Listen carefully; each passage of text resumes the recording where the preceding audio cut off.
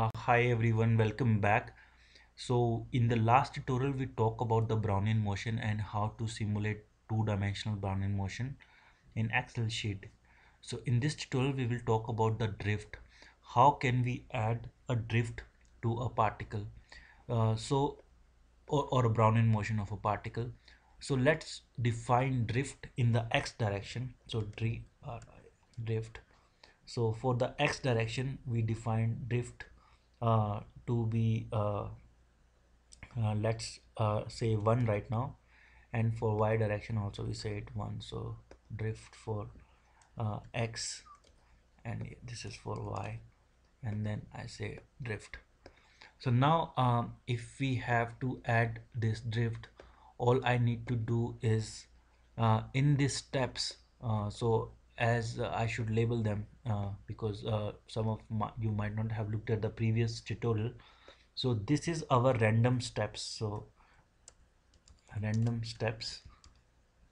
And this is our dx which is the random step in the x direction. And this is our dy. And uh, uh, so let's do this uh, so and this one is our position x and this is our position y. Oh sorry. Uh, I should not say 0 here. I should say here position x and position y. And uh,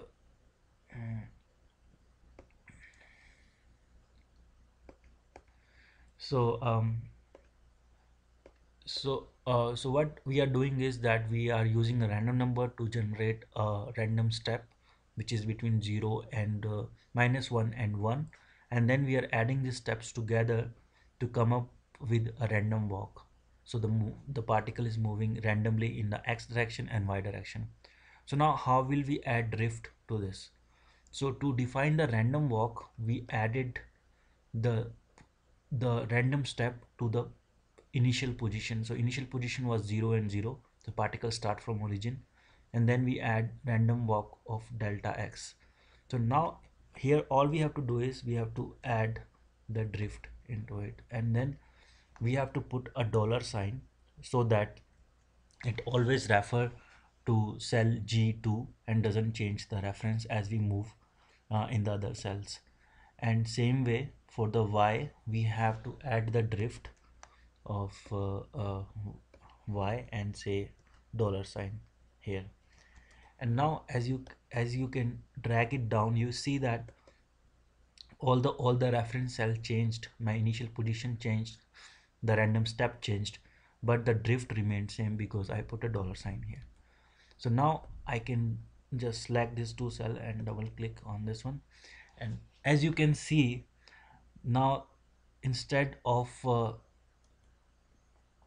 going in the uh, in the random walk this particle is now moving in x and y direction. So this is your uh, y direction this is your x direction and it's going uh, in a like a straight line.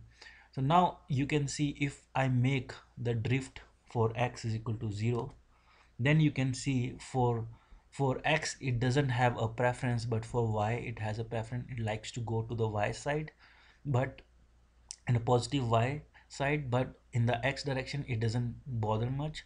Uh, it can go in either way. And again you can see so in x direction there is no drift but in y direction there is a drift. So let me let me put the axis here. Now you can see uh, so you can see that for x there is no preference but for y it goes to the y side. And if we make this drift less like suppose 0.4 then instead of going to the thousand it now goes to the 400 so we can again see it goes to the 400 so it always goes to the 400 but uh, uh, the number uh, it's not exactly 400 all the time. So now let's make it 0.1 and now it will say that now it goes to the 70s uh, or 80s and that depends on the random steps it also takes. Sometimes it goes to 90 and sometimes uh, it goes to uh, 110 also. So you can see that the movement is changing.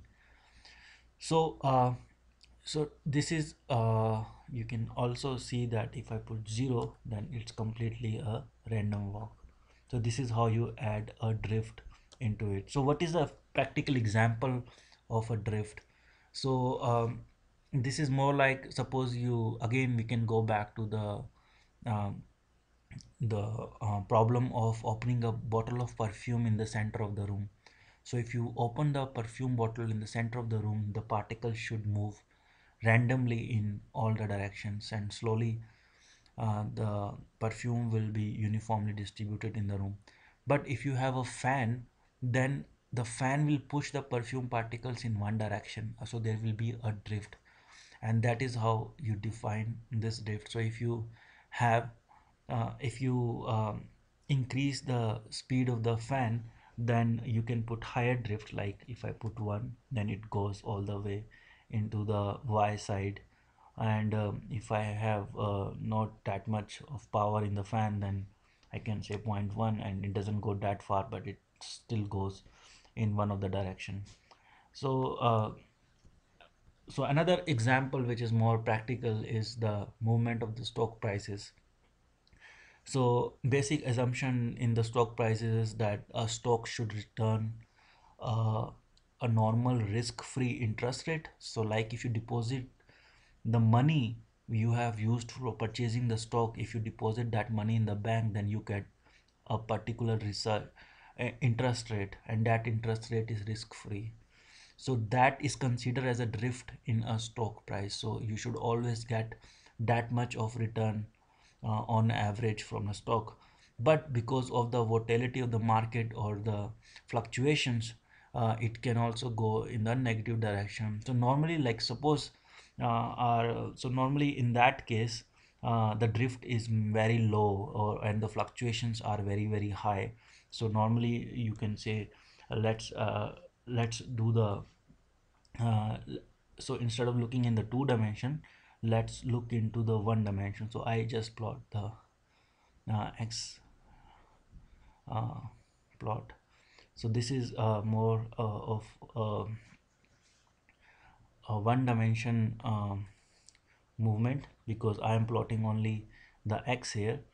And now you can you can compare this. So let, let me change the data series and say none and line color solid and then so this is more of a simulation of a stock price. So here right now i'm using random number from minus 1 to 1 but the steps will be defined by the uh, volatility of the stock. And there are some uh, formulas. We can talk about that in the next tutorial and how to uh, simulate a stock price by using the uh, statistics or the parameters which are available uh, about that stock.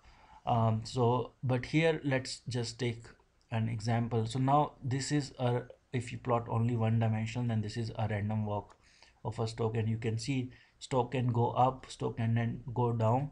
And this this kind of shapes are not uh, uh, very uh, new. You can look at the google finance and look at any kind of stocks and the movement will almost look like this. It goes up and it goes down.